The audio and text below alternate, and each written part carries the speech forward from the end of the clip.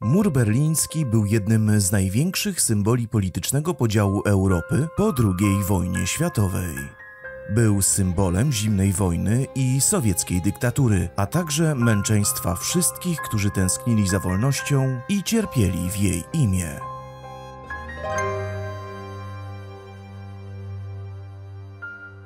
Nie musicie dziś jechać do stolicy Niemiec, by na własne oczy przekonać się, jak wyglądała betonowa bariera, która podzieliła Berlin na pół. Dzięki niezwykłej inicjatywie polskiego lekarza, fragmenty muru trafiły bowiem do małej wsi Sosnówka na Dolnym Śląsku, gdzie utworzono z nich artystyczną instalację i zarazem miejsce pamięci. To jedyne takie lapidarium w Polsce.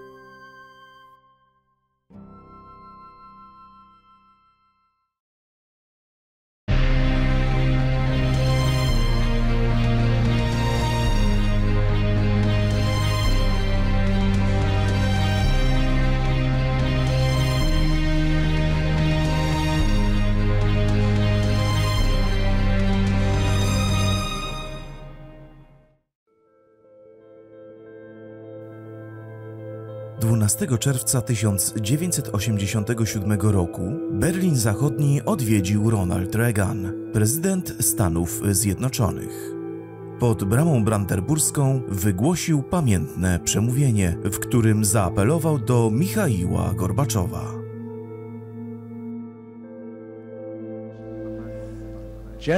Panie sekretarzu generalny, jeśli chce Pan pokoju, rozwoju Związku Radzieckiego i Europy Wschodniej, liberalizacji, niech Pan tu przyjedzie, otworzy tę bramę.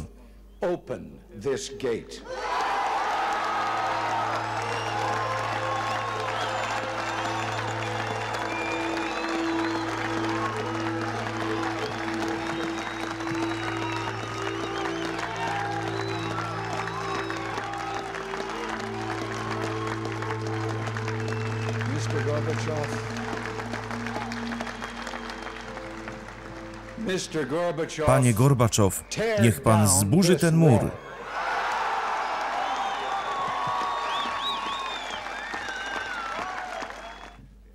Kiedy chwilę temu patrzyłem z Reichstagu na wcielenie niemieckiej jedności, zauważyłem słowa wypisane na murze sprajem, prawdopodobnie przez młodego mieszkańca Berlina. Ten mur upadnie, wiara staje się rzeczywistością.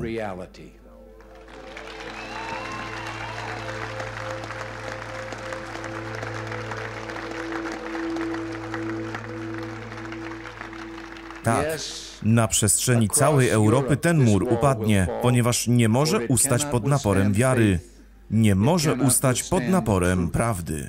Mur nie może wytrzymać presji wolności. Tego dnia nikt jeszcze nie wierzył, że mur upadnie. A jednak już dwa lata później, z czwartku 9 listopada na piątek 10 listopada 1989 roku, stało się to, na co czekał nie tylko naród niemiecki, ale i cała Europa. Mieszkańcy Berlina obalili mur. Stało się to możliwe dzięki procesowi przemian ustrojowych, znanych dziś jako jesień ludów. Dziś największa poza Berlinem kolekcja fragmentów muru znajduje się w dolnośląskiej Sosnówce. Powstała z inicjatywy lekarza stomatologii Ludwika Waseckiego, który od 1979 roku mieszka w stolicy Niemiec. Pamiętnej nocy z 9 na 10 listopada 1989 roku Wasecki stanął pod berlińskim murem uzbrojony w wiertło dentystyczne. Jedyną rzecz, jaką w pośpiechu zabrał ze sobą, wybiegając z gabinetu zaraz po tym, jak usłyszał, co dzieje się w mieście. Na pamiątkę zabrał ze sobą mały odłamek muru. Wtedy to właśnie wpadł na pomysł stworzenia instalacji artystycznych, które opowiadałyby o tym wyjątkowym wydarzeniu. Zdjęcia jego pierwszych prac trafiły przypadkiem do doktora Rainera Hildebrandta, założyciela i dyrektora Muzeum Muru Berlińskiego. Ten poznał go z Hagenem Kochem, dawnym oficerem Stasi, który pomógł polskiemu lekarzowi zdobyć pierwsze sześć fragmentów niesławnej bariery.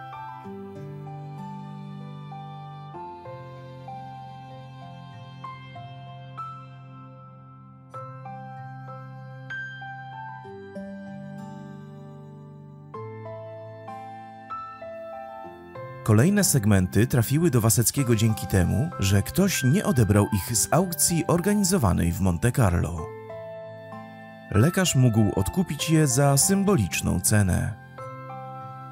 Z czasem udało mu się zebrać pokaźną ich liczbę.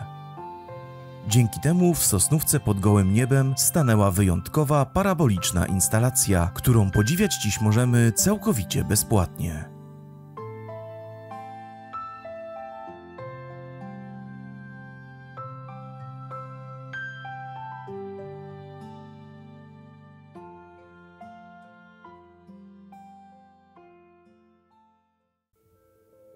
Jak dojechać w to wyjątkowe miejsce?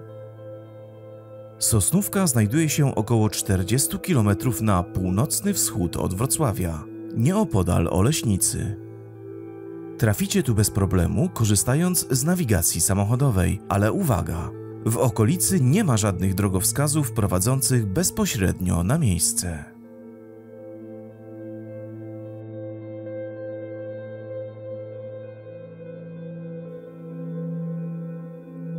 Odcinek dedykujemy Ukraińcom, którzy walczą dziś o wolność z sowieckim okupantem.